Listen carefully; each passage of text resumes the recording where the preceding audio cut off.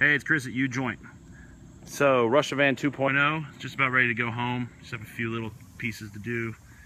And uh, I've been driving it around, feels great. Putting some miles on it, beating on it a little bit before it goes on a ship. So, uh, 2012 E350 5.4 regular body wagon. Did our 6 inch lift, 35 inch Toyo mud terrains. Another set of XD Addict black.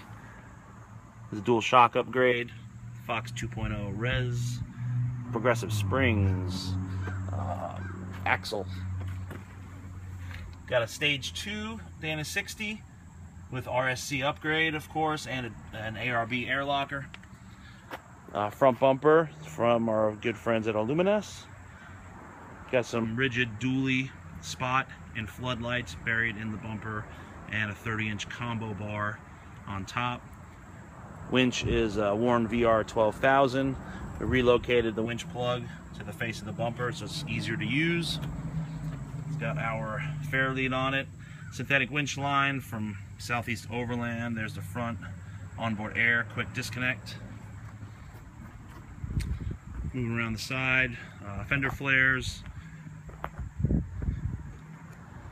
This van has, think, our third and final roof rack prototype. It's our new modular extruded aluminum roof rack that we've been working on.